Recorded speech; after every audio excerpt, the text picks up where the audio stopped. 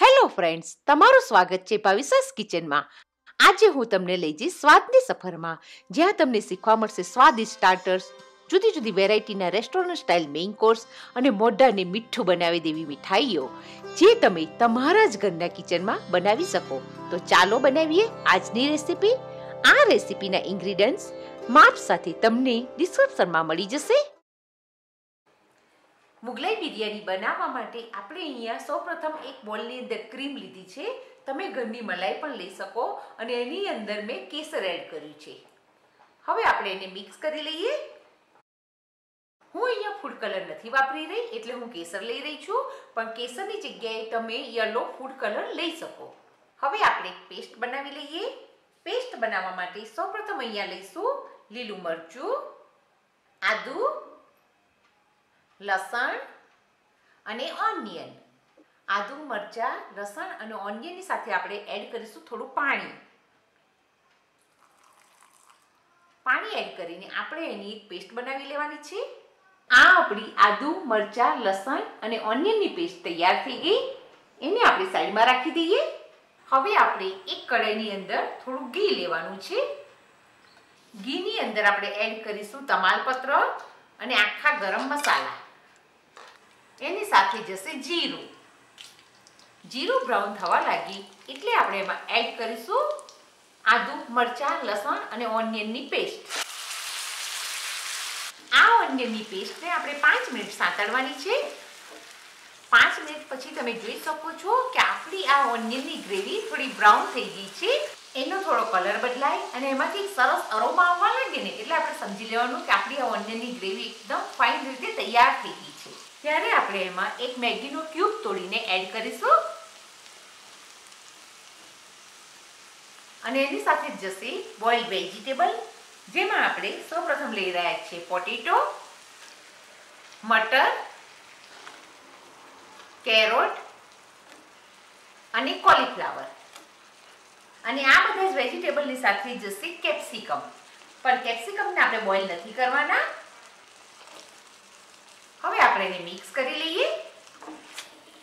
બધા જ vegetable mix કરી દીધા પછી આપણે એમાં એડ કરીશું કાળા મરીનો પાવડર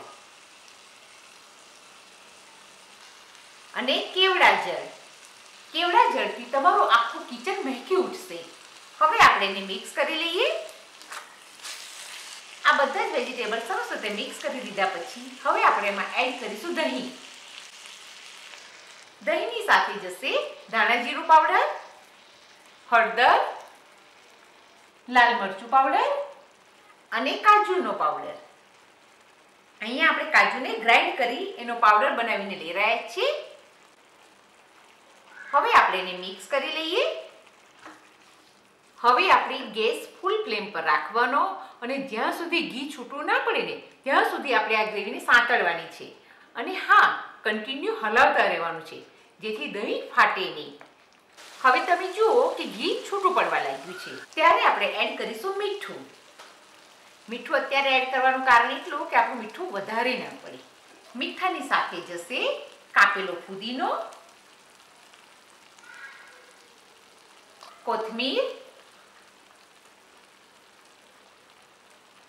અને બી રસ્તો. બી રસ્તો એટલે કે તળેલી ડુંગળી. હવે આપણે એને મિક્સ કરી લઈએ. મિક્સ કરી દીધા પછી આપણો ગેસ એકદમ સ્લો ફ્લેમ પર છે. ત્યારે આપણે એમાં એડ કરીશું કેસરવાળી ક્રીમ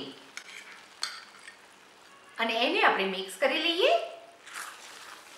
ક્રીમ આપણી બિરયાનીને રીચનેસ આપશે અને કેસર એ કલર આપશે. હવે આપણે આ વેજીટેબલને એક સરખા લેયરમાં ગોઠવી દઈશું. લેયરમાં ગોઠવ્યા પછી આપણે એની ઉપર એડ કરીશું રાઈસ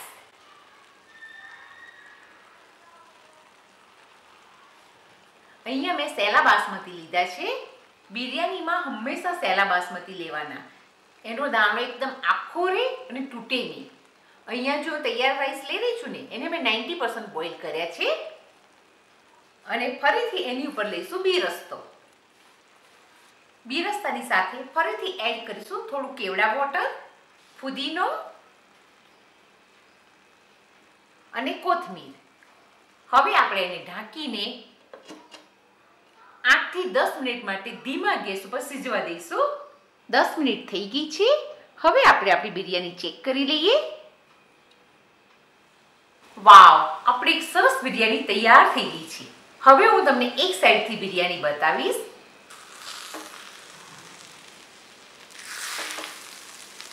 હવે આ બિરયાનીને આપણે મિક્સ કરી લઈએ.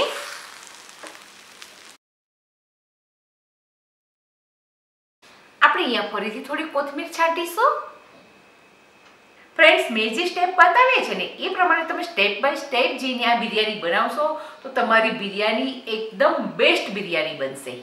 તો આપણી બિરયાની તૈયાર થઈ ગઈ છે. જો તમને આ રેસીપી સારી લાગી, તો please like, share, and subscribe. ફરીથી મળીશું એક નવી રેસીપી સાથે.